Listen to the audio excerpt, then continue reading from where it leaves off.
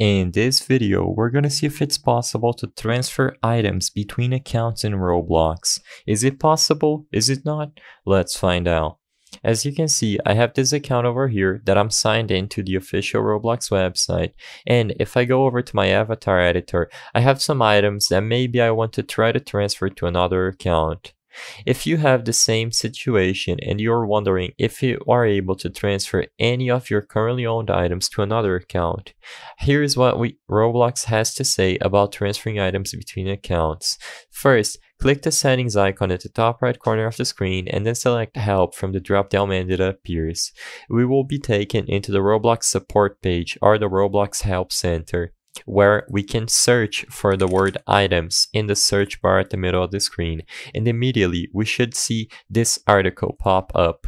Can I move items, experiences or Roblox, Robux from one account to another?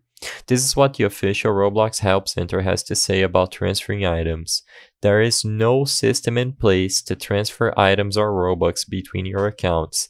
It is, however, possible to transfer your experiences using Roblox Studio. So, according to the official Roblox Help Center, it is impossible to transfer items and Robux. You can only transfer experiences between accounts. So, any methods that claim they have a way to transfer items between accounts are scams. Never share your password with any of these methods and be careful because there is no way to transfer items between accounts in Roblox. The purpose of this video is not to spread misinformation, but to let people be aware that it's impossible to transfer anything between accounts besides experiences. If this video cleared up any questions you had, please be sure to leave a like and subscribe for more quick and easy tips. Thank you for watching.